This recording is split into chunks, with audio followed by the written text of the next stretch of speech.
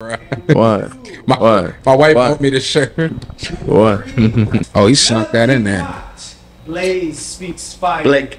No, Blaze. Oh, Yeah, we've been saying Blaze. oh, have y'all? Yeah, we know it's Blake. But- four. My hope they've been using.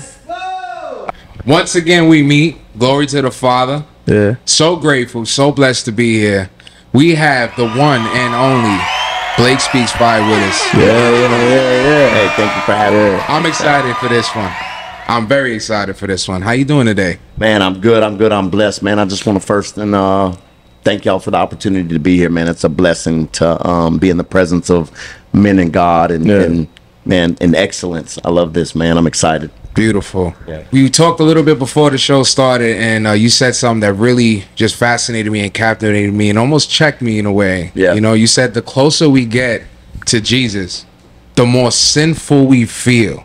Yeah. Can you expound on that a little more, please? Yeah, the closer we get to God, the, the closer we get to to glory, to cleanness, the dirtier we feel. It's not because we have become more sinful. It's because the light has shone in the darker spots of our area. And the closer we get to greatness, we, we, we know that we feel more sinful, but it's not in condemnation.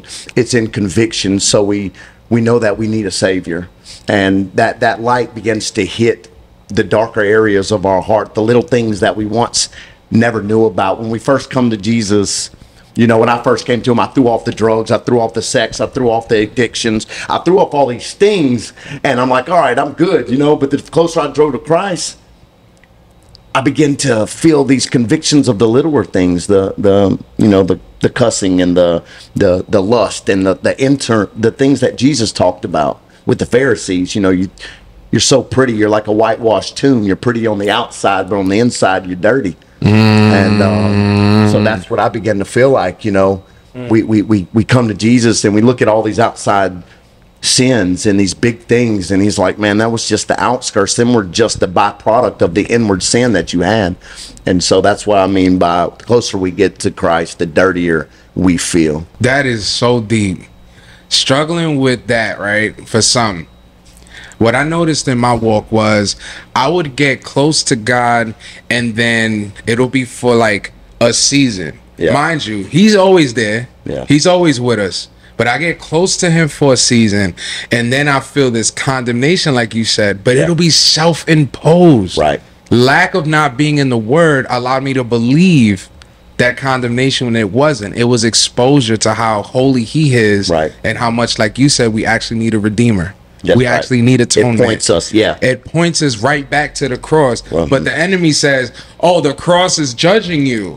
The the person that's there doesn't love everybody. Mm-hmm. Yeah. The person that's there, yeah, he's Lord and Savior, but not for you. Because Right. as you get closer to Him, now you're in trouble. Now yeah you feel bad. yeah yeah yeah So, But it's from lack of word. yeah. So, gentlemen, before we actually start the podcast, I've been listening to you guys, and you guys know me for a bit more like attentive and we're like yeah, yeah, yeah. you know what I mean. But like the whole time you guys were talking, we've just been picking up like gems and just like really meditating on each other's words and Yeah. stuff, and like you wanna, wanna have a natural flow. You know what I mean? Like irregardless of the cameras, irregardless of the, of the you know what I mean, the mission we'll have, like just the general message from brother to brother, it mm-hmm. really connects. You know what I mean? Because like I'm here and just been like meditating before everything starts and just be like, yo, God, let flesh be slain and mm-hmm. only Amen. what you need for come out of us, allow it to come out. Mm-hmm. So the natural flow on the top into more stay in a that because that's that's where I feel like the genuine grit and and the realness of what it is for follow God each and every day comes from and, and comes through. a natural flow Yeah, there's a mm-hmm. natural flow. Yeah. yeah, because like, I have so many questions. I know. Like, Yeah. You know what I mean? So I, I've just been like, all right, ADHD, put pump up. Right. right.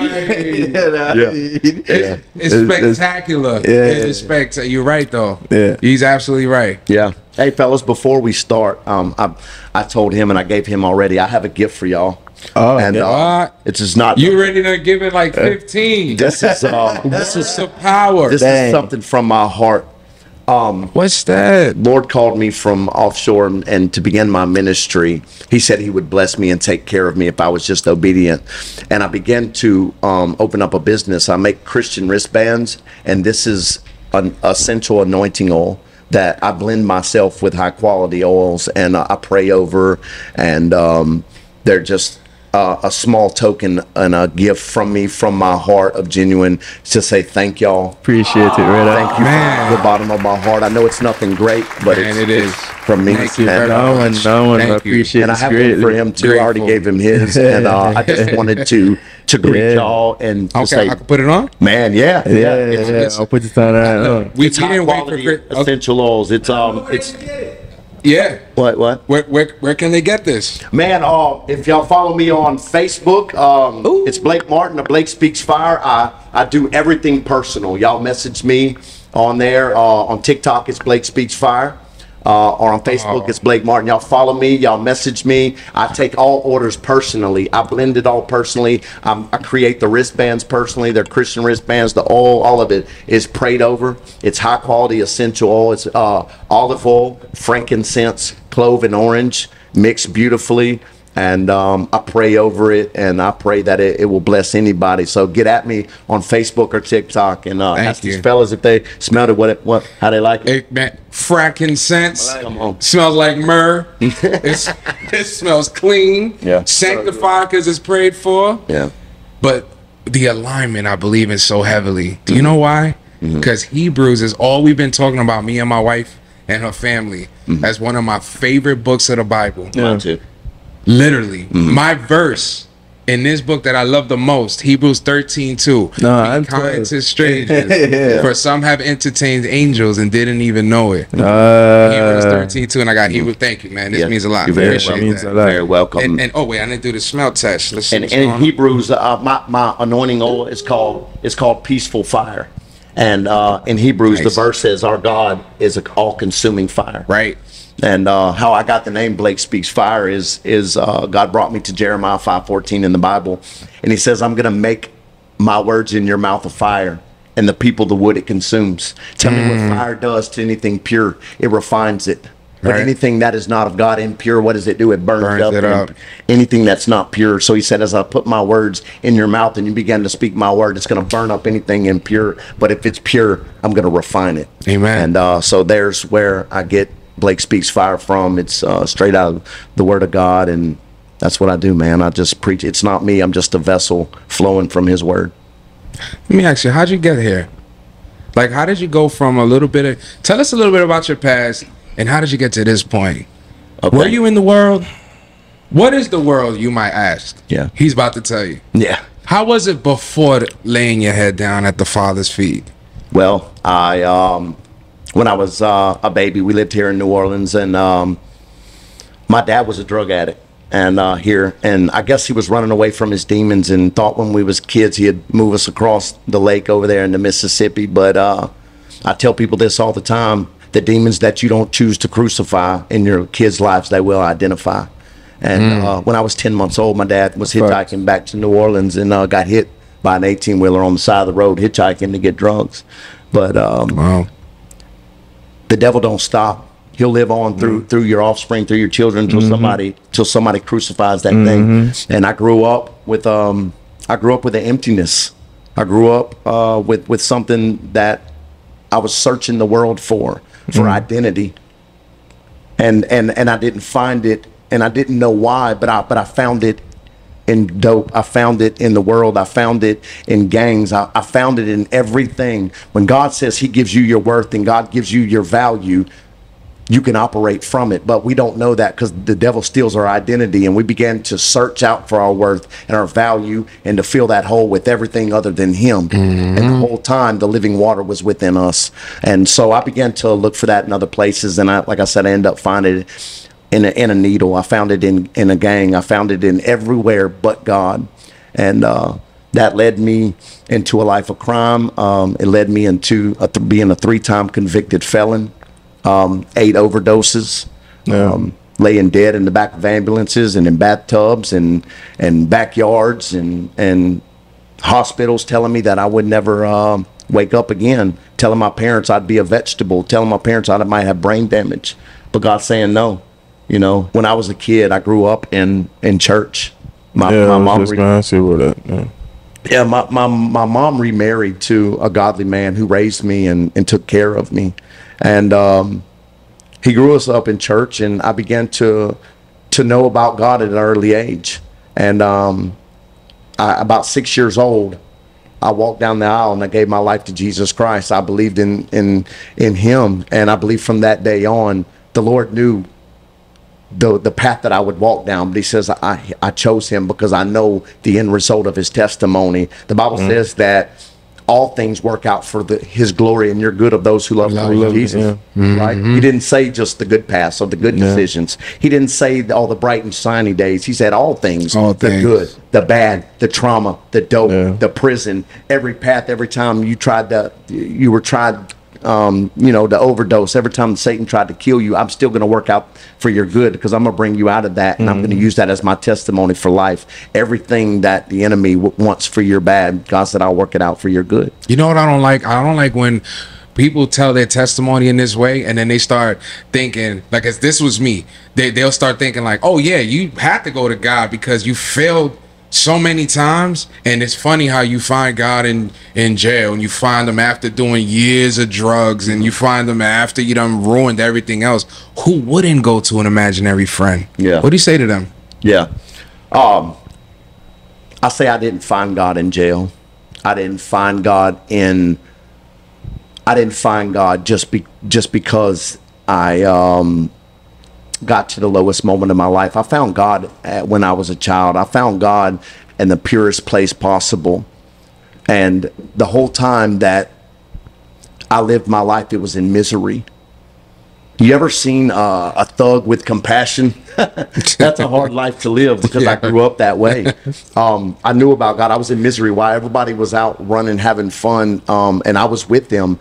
They had they were carefree. I was miserable in my soul. Yeah, like I, you don't belong there. I didn't belong there. and you there. knew you was cutting up. Yes. and was just had to be there for whatever reason. Yes. And uh, it's that flesh versus Mm-hmm. spirit battle. I would never prosper with the other drug dealers around me. Right. I would never prosper in the crime that other people would get away with. I would get popped. I would get busted. He was making an example every Yeah, time. God will never allow one of his children to prosper uh, outside of his will. And uh, so, Mm, that's a gem. God will never allow you to prosper out of His will. For the set aside, when you set aside, Yeah, right. listen, it's it's either it's either it's two roads really, you know. Um, there's no way going to gain any success if you're chosen by God without Him or without the devil. No way. You see? Because the thing is, like, I remember um, so I'm an artist too, and I had two moments before now where like my, my on the verge of like breaking big and you know what I mean doing it big. And um for the very last for, for the last times like or for the last time or the two moments um i was working on the album and the album the songs sounded good i got the sanction from god for like go through the songs and everybody's like hyped up about it and like yeah we'll have money This is your we're rich like you know what i mean Yeah. and god literally just stopped me on my tracks he's like i'm giving you a choice to make right now a fork in the road. fork in the road Yeah. he's like you can choose me Mhm. And you will still be successful Mhm. and you can choose the world Mhm. and you will still be successful Yeah. but i'll take my hands off you Mhm. oh, tch. yep. That's right. and i'm like Mm. so the one thing i've always prayed for from my child is wisdom like the first time i heard about solomon Sproul, Yeah. as a, as a Me- boy I, i'm i'm like give me wisdom God. Man, give me wisdom, know. God. you know what i mean That's And- Solomon. Love Solomon. listen immediately like call him up yo um what kind of this summer Yeah. Wow. yeah um i had like uh, 16 songs all of them bangers and them said bangers bangers like Yeah. like I can call notable like very notorious like Yeah. producers you know what i mean Yeah. Yeah. it was like linking up like yo yo like Yeah. you know what I mean, and just deals are just like A and R's and you know what I mean coming in from just demos that was sent out alone. And I'm like, yo, Can't do it. done. Yeah. And I'm like, what? Uh, done. You know what? I feel you on that. Yeah. Like, I got sober, relapse, sober, relapse, gain it all, lose it all, gain it all, Yeah. lose it all. And it was because I felt like God's mercy was just giving me favor because Yeah. I didn't die in it. Yeah. But this last time, for the first time ever, and I never want to feel that again, I woke up in jail and I didn't have his presence. And I feared that Scared. more Yeah. Yeah. than the jail, the judge, Yep. the money I'm about to owe for the, the, the stuff that I did. I was like, mm-hmm. yo, this this is literally the worst hangover I've ever had Yeah. Because he took his hand off of me because I just woke up in jail and I didn't know why I was in there because I was blacked out drunk. They say that's what that's they say that's, That's what hell hell is. is. That's the the absence fire. of God. That is what the world The is. absence of all good It's- of all God. Yeah. His presence was gone for Yeah. him, and I remember these guys were looking at me at the at uh, like because I was on the top bunk. Not and they didn't put me on the top bunk. I didn't know. You heard me? I didn't know I was going. So I was on the top bunk. And they, they were Yeah. looking up. They're like, "Yo, what you doing here?" And I didn't know, and it just hit me. Mm-hmm. And in that moment, I knew I drink again. I'm literally That's it. outside of his presence, and I have not drank. And I'm telling you, man, I've been up and down with the drinking, and it was the same thing, right? Like, you either gonna choose the world Yeah. or you're gonna choose me. Yeah. Yeah. You might get paid by the world. It might pay you well. You you might you might feel like you're feeling good. You might but get Jesus has a all them things. retirement plan, Yeah. bro. Yeah. You That's what Joshua said, choose this day whom you will serve. You know, even the devil came to Jesus in the wilderness and he offered all the kingdoms of the world. Jesus didn't tell the devil, well, you can't do that. No, he can. Mm-hmm. Yeah, We're in can. this world, not of this world. Yep. And uh, it's, it's, we have to, like you said, use wisdom and uh, not all prospering is from God. Is from God. not Big all facts. prosper is from God. And Can you tell me? Can you tell me how you've how you've uh defined the world for people that don't even know what that means? Like when we say the world and that life versus the will of God. Yeah. What would the world be to the young out there? Like you know, 16, 15. What is the world?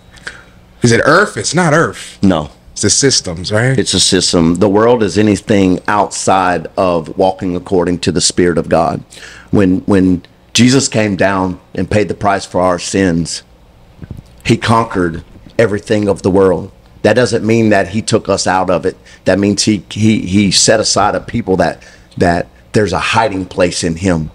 And when we give our life to Jesus Christ, we surrendered and become a new creation. And that man of the world was buried and and no longer we live again uh, as as that man, and we begin to walk a life according to the Spirit. We're in the world, we're not of of the world. Okay. Give me three examples. Can you give me like what is one act that a person could be doing Okay. that you see them doing repeatedly and you can say, okay, he's of the world. Not sins. Is it I don't tr- is it a, if a person doesn't trust in God for a decision? Yeah. Is it is it cursing? Is it um denying the existence? Is it self-will? Because I always picture like self-will Yeah. as an example. Yeah. Do you, do you, how, how can a person be like, you know what, that is kind of the world? Yeah. Um I would say I would say that's a good one. Mm-hmm. It's a hard to explain to people. Somebody that doesn't have the spirit of God doesn't understand spiritual things, so it's hard to to put it in that perspective because everything of the world is is is not bad per se to people outside of the will of God. It's common, it's normal things. Hmm. Um, so, like, if a person, okay, they say, okay, they're saying the world, they're saying the will of God. I'm just going to work every day. I'm just living my life. Yeah. I'm making money. I'm not going to church. Is that of the world? No, because sometimes church is of the world. I'm only gonna talk from like a personal challenge Okay. that I had. Okay. I knew I wasn't in the world. I, I knew I was in the world, meaning I wasn't with surrender to God when things were out of alignment.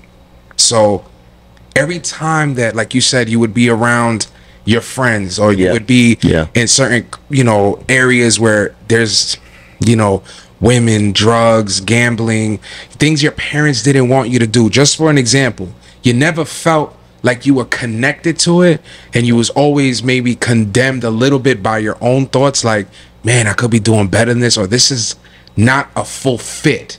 Yeah. I remember feeling like that because I got saved at 16. And every time since the Holy Spirit had entered my body when I was 16, when I like smoked weed, I got spiritually paranoid. Right. And Yeah. I would be like, Yeah. an angel's coming, or I would hear God's voice like, You have messed up bad this time. I am returning right now. And I would freak out and have like I would never be able to enjoy being high again. Yeah. And then even like what girlfriends, like every time I had a relationship that wasn't okay, God, I'm not gonna sleep with her until we're married, or God send me a good woman. It never worked out. Right. There was a lot of fun. There was a lot of, you know, just one on ones with her, intimacy and stuff like that. But it always never worked out. So in other words, it's almost as if the world is what everyone else is doing Okay. Yeah. and they're okay with it versus what your what my heart would know is wrong Mm-hmm. since I got so like I put my hands up and said, All right, God, I, I believe in you. Yeah. So it's not necessarily like acting uh Yeah. okay, making bad decisions like smoking, drinking, because Yeah. all sinner all sins have been paid for. It was more so the world is the world says it's okay to be a certain way Yeah. and it's accepted, but it's funny Christians get hated for going against. I'm gonna tell me? you where I think I'm, I would go with that, and I had to think real hard. I, I could have gave any some quick little answer, but I but I wanted to walk. I wanted to answer that according to the Spirit, and I think it all goes back to an identity. When you're walking out of anything outside of who God created you to be, that is of the world. If God has a plan and God has a purpose for you, and you're walking away from the plan and the purpose, if you would have chose that other route, that's of the world. It doesn't necessarily mean the things that you're doing of the world is the things that you're not doing. God created you in your mother's womb with a purpose and a plan and a value and a worth. And every time that you operate from anything other than who God created you to be, you're operating in the world. You mm. can't. That's why he says, "Hot or cold, I'll spew you out of my mouth," because you can't carry around the devil's tools into the the pathway of God. So it's not about the the sex and the drugs and all that things. Them are byproducts of you walking outside of who God created you to be. And so, so a minute ago when you said that, and, and I almost just flowed out with just these little things like, oh, when I smoke weed, when I do this, when I do that, my girl. Mm-hmm. But God says that in it, and, and that's why I was being so silent. And I, I wanted to walk according to the Spirit of God right now and answer that to somebody because, you know, there's people that don't have sex, uh, uh out of not having sex, or not smoking weed, and not doing drugs, and all those things, and they're going right to hell because they don't know who they are, and they've never been surrendered their life to Jesus, and they're mm-hmm. operating. When you're not operating from God, you're operating from the devil. And our job here on earth is to walk in the purpose of Him. Why? Because there's other people's lives and salvations at stake because of the life you're supposed to be living. So we stop looking at ourselves and we stop gratifying our flesh. And it's not necessarily, like I said, the things that we're doing. We're only doing those things because there's an emptiness there that's not of Christ. And hmm. that's anything outside of your purpose that God created you to be, I would say, is of the world. I said something to my brother that I've never said to anybody else before. I said it to my girl too. That moment was literally unknowingly pulling a trigger. I remember that night we were having a sleepover. It was just like a group of friends. Don't move. Yeah. And she's like, no, those, you know what I mean? Right as me about to pull that trigger, that gun was pointed dead center. Dead center.